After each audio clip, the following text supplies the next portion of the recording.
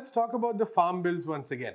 On Sunday, the Rajya Sabha passed two farm bills which will forever change the face of Indian agriculture. Now, these bills were passed despite the fact that farmers' organizations, leftist parties, and many other opposition parties had been opposing them for weeks. They had demanded that there was no hurry in passing these bills, that these bills be referred to a select committee, and a proper process of consultation be undertaken with input from stakeholders before any of these bills were passed. However, the government just pushed it through, and MPs who opposed it were later punished. We talked to P. Sainath, noted journalist, and founder editor of the People's Archive of Rural India on who actually benefits from these bills. What happens to farmers when these bills are passed? What happens to the MSPs? What happens to the agriculture produce marketing committees? What is the future of corporate farming? Here's what he had to say. Sainath, you're, you've been watching this scenario for a very long time. This is something which has been your passion. Tell me, what is the new set of measures the government is introducing, including the APMC abolition bill, what does it mean for the farmers and why, why uh, is the government doing this? I think the government is pretty much uh, bringing in a set of measures that continues or takes forward and much further the process we began in 1991.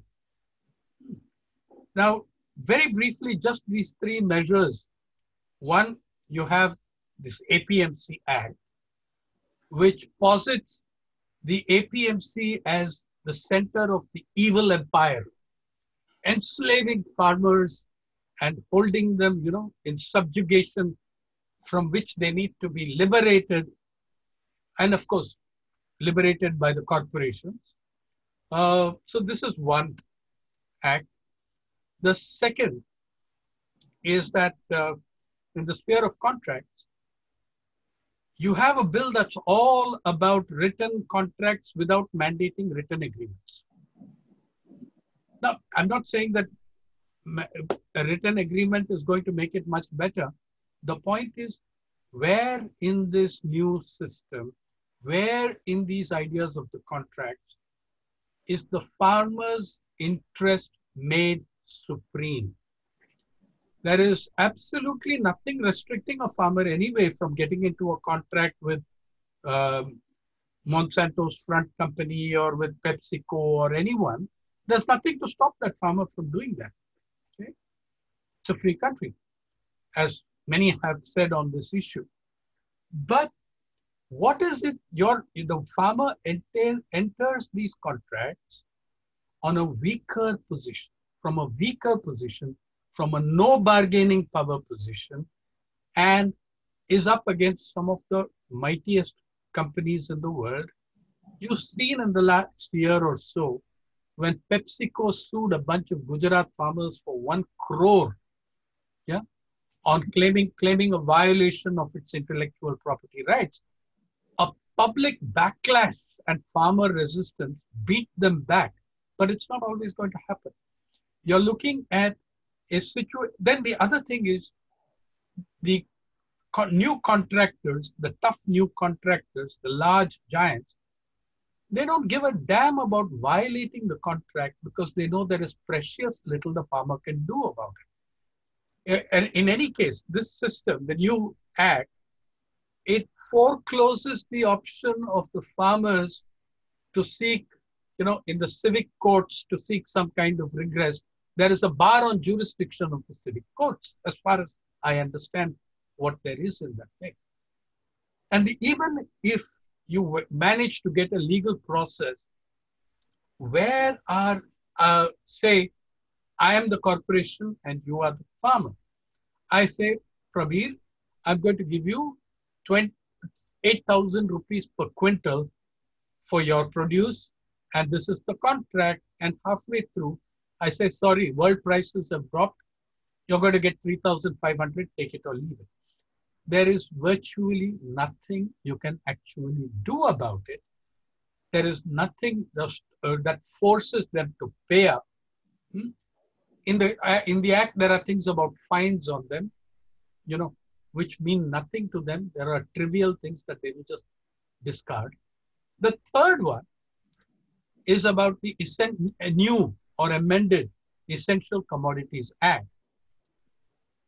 And this new Essential Commodities Act essentially tells you that all these commodities are no longer essential, except under extraordinary circumstances, pitched at a level by the government so high that they are unlikely to ever be met.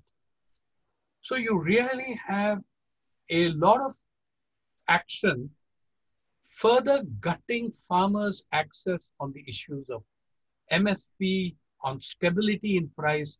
Here's a very simple thing. What are the farmers demanding everywhere in the country? They are demanding an assured price. They are demanding stability. That is. And which of these acts offers them either of that? It offers them volatile fluctuation. It offers them depression of prices. Okay, but let's probably take this APMC thing. It's actually at one level quite entertaining how many people are falling for a most stupid and discredited principle, which is essentially free market as freedom and state support as slavery. Hmm? The state giving supports to corporations, that's incentives. Yeah, state giving support. tax breaks. Yeah, that's also incentive. Tax breaks, uh, outright grants. Please, in 2013, the UPA government started a thing called the Million Farmer Project. You remember it? In which corporations were brought in, specific corporations, you can, I'll name them for you. 3,500 crores outright grant, another 4,000 crores allocated under various heads for it. These corporations were to take up so many thousand farmers each and train the farmers, poor guys, ignorant ones, into how to conduct agriculture. So ITC, ITC Kolkata had was going to teach farmers in Tamil Nadu how to grow better ragi. You know, they were going to teach them how to grow ragi, which of course the poor farmers of Tamil Nadu have little experience of, just 2000 years or so. Um, and so you had ITC farmers, Ambani farmers, Tata farmers, you name it. Nothing. Every single paisa went down the drain. The idea that private capital was going to come in with this incentive and start doing things to help farmers do better, that was nonsense. But come back to this point. APC is evil empire, the deadly monopoly.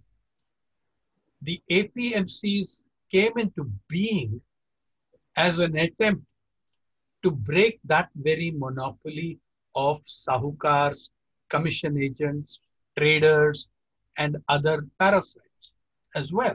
In fact, originally it was really the big traders yeah. who corner food stocks when the farm produce hit the market and then depress the prices and then of course later on hoard them and sell at high prices. Yeah. This is the post-independence phenomena at which I think Nehru has once said, I want to hang the black marketers from the lampposts. That was the mahal, the environment within which they this, this act really came about. And what they're doing is really going back, it seems, to the fact that the traders will now dictate to the farmers what they could not have, they have not been so successful in doing because of MSP, because of government procurement, and of course because and, of regulation. And if you look at that act, you know, it, they're actually claiming, they are actually claiming that this we, we are doing this with a view to increasing the income of the farmer. Hmm. Now, farmers were never under any restrictions under the Essential Commodities Maintenance, uh, Essential Commodities Act. They were never under any restriction from stockpiling their own produce. The restrictions were precisely for those big traders, those money lenders, those hoarders and black marketeers, agribusiness, corporations. That's who the restrictions were for. Now they are completely lifted and will only be brought in under extraordinary circumstances. It now means that the big, big players, the corporations, the agribusiness, can stockpile without limit, which allows them, which allows them to manipulate prices downward in the case of the farmer, upward when it goes to the market. Any peasant in the world, in any country, will tell you one axiom of farming. When the produce is in the hands of the farmer, price falls. When the produce shifts to the hands of the trader or intermediary, the price goes up. The difference now, Prabir, the mahal in which that act came, there were thousands of traders in, across the country who were subjecting the peasantry to this kind of uh, torment. The aim now is to simplify that and reduce it, the control, to that of half a dozen companies and corporations. Now, how is that? How are these corporations going to function if they're able to? Because I'm not so sure that the government's intent will succeed immediately. It will create chaos, in my opinion. But what the companies will do when they move into the field is, hmm, is if there were 10 of those old intermediaries, they will incorporate, integrate, recruit three out of those 10. Yeah. Because there are going to be other intermediaries above them handling them. They don't need 10 guys. They will take three and integrate them into that. The new intermediaries, Prabir, are going to be wearing Armani and Gucci's. That's another significant difference. In our next segment, we talk to KK Ragesh of the CPIM, one of the MPs who was suspended from parliament for expressing opposition. Ragesh was among the MPs who tried to protest the fact that the bills were not passed in a democratic manner, that despite the so called procedures being followed in name, the spirit of democracy had been violated. However, he was punished for this. Here is what he had to say. It is very clear that it is on the interest of the corporates. Why? Because they are saying that it is a freedom of farmers to sell their produce. Farmers can always sell their produce. Nobody is going to prevent that. What is the issue? When farmers are selling their produce, whether they are getting the price, remunerative price for their produce, that is the question.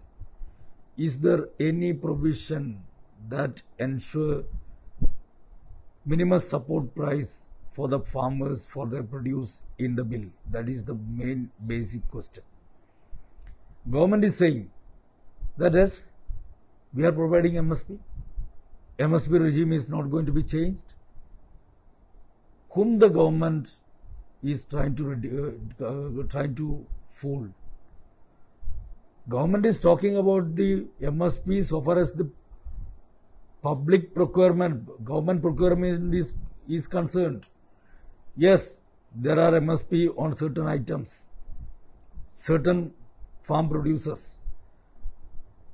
And that MSP is also not decided on the basis of the Swaminathan Commission report, which is C2 plus 50 percent, which was the promise that you made, that the BJP government had, BJP had made. It is A2 plus FL, where certain component of calculating uh, cost is being exempted, avo avoided. And that MSP also, who is getting at that MSP? When government is procuring any agriculture produce, they are getting that MSP. The question is, after passing of this bill, is it for strengthening the public procurement? Not at all. This is for abdicating the government's responsibility of public uh, procurement and this is to uh, the, the, government is trying to hand over that responsibility to the corporates, to the big, big business, to the traders. So what will be the impact? Can you, can one uh, believe that the corporates who are profit mongers are going to, because of their benevolence, whether they are going to offer MSP for farmers? Because there is no provision at all in the you, there is a provision so far as the government procure is concerned, government used to notify time to time on the MSP. That is only confined to government procurement. Here the question is, you are bringing out a legislation that allows private players to procure food grains according to their own choice, according to the volume that they decide from the farmers and when allowing them with a bill, with an act, there is no provision for ensuring MSP. What does it mean? It means that farmers will not, not at all get MSP. They will be compelled to sell their produce for the, for the cheapest minimum prices. But another thing is this today Harivansh came to you and uh, offered uh, tea. Uh, I mean, and the corporate media is full of these pictures where he suggests that, look, what a benevolent act. So how would you respond to his conduct in Rajya Sabha on Sunday? I will come to that question later, but I have uh, two, three things are uh, to be added. See, uh, so how to address that MSP question? That is why I had moved three amendments in the House. One is there should be a provision for uh, ensuring MSP, and second is government has to notify an MSP, the MSP on all agriculture produce, all agriculture produce, and thirdly there should be a provision that if any private player procure uh, procure uh, agriculture produce less than MSP, less than a MSP, then there should be a provision for civil and penal proceedings against that private player. So these three amendments can only ensure, only these three amendments can ensure uh, at least MSP to the farmers. That provision is not at all there. And the question that you had asked me, in fact, it was a gimmick. When he came in the morning, he was saying that he came in a private car and it is uh, he's uh, he came there not as deputy chairman as part of his official responsibilities he came there to meet uh, his colleagues in, in, in the parliament we were all no it's it's quite natural. But later we understood that it was a calculated move. Why? Because immediately after his visit to the agitating members, to the members who are on strike, immediately after after that, immediately after that, the prime minister had uh, had come up with a tweet saying, uh, explaining the benevolence of of the deputy chairman, who himself had declared that he is going for a one day hunger against the MPs who were uh, uh, who, uh, who, were suspended. It is very clear why, why, why all these things. You just correlate all these things because the BJP and its Ali and its ally JDS they had alienated from the people. Bihar election elections are yet to come. It is uh, at hand. So they know that in the election they are going to lose because of these particular three draconian laws. The people of Bihar were watching the way that the deputy chairman was trying to push through the agenda of the BJP government. And they are also watching the way that the BJP is trying to push through the corporate agenda, anti-farmer agenda, a law that throws the farmers of the country at the mercy of corporate. Bihar people are watching. So they smell the danger. And that is why they want to show before media that we are so benevolent. You are doing everything and posing before the people that you are innocent.